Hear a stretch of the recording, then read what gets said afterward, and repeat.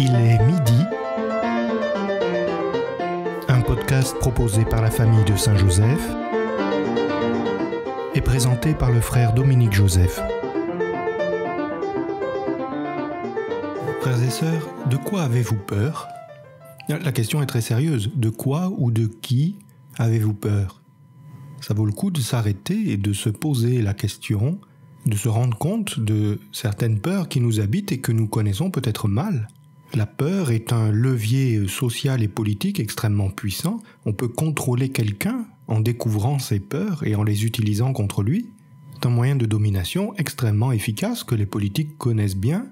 Et je crois que nous avons tous fait cette expérience dans notre vie spirituelle de certaines habitudes mauvaises, de certains comportements inauthentiques dont on a du mal à se débarrasser jusqu'au jour où on se rend compte qu'ils sont enracinés dans une peur. La peur de manquer, la peur d'être abandonné, la peur de ne pas faire face à l'inconnu, la peur des conflits, la peur d'être oublié, de ne compter pour rien, etc.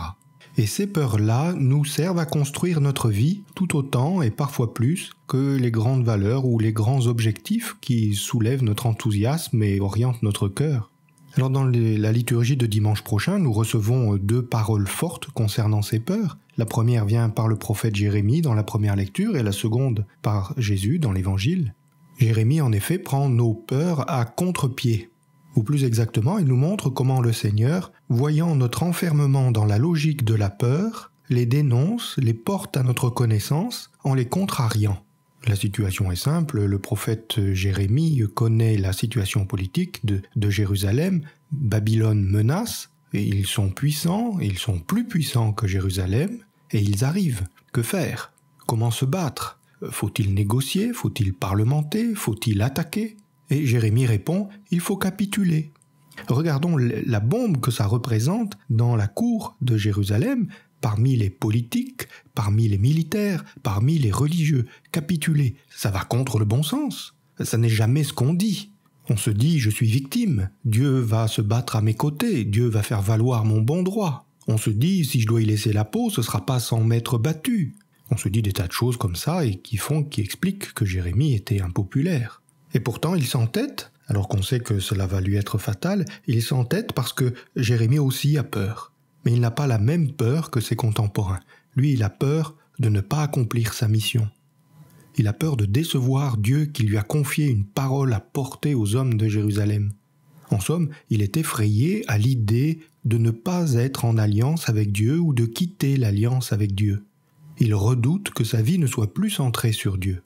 C'est ce qui fait sa force, c'est ce qui a alimenté sa détermination. C'est ainsi que Jésus dit arrêtez de craindre pour ceux qui ne peuvent que tuer le corps. Cette peur-là peut nous conduire à accepter des contrôles indus. Nous n'appartenons qu'à Dieu. Ne laissons pas quelqu'un d'autre que l'Esprit de Dieu organiser notre vie et hiérarchiser les priorités de notre vie. Si nous devons avoir peur de quelque chose, c'est de la mort éternelle, de la mort de l'âme. Ainsi, c'est très facile d'avoir peur, d'abord parce que la mort fait peur, ensuite parce que nous sommes dans une culture qui s'est laissée submerger par la dictature de l'émotion, donc les peurs sont nombreuses et incontrôlables, elles ne peuvent plus être canalisées par la raison, et ensuite parce que même si les années passent, nous sommes marqués en, en, Occident par les conséquences de la dernière guerre mondiale où nous avons vu les horreurs de la mort, le pouvoir de la mort, un pouvoir qui exerce une fascination, une fascination morbide, mais qui conduit à l'idée que, en tout cas, la mort aura le dernier mot, on ne peut pas échapper à son pouvoir. Mais voilà, le don de Dieu n'a pas la même mesure, la vie qui vient de Dieu est irrépressible.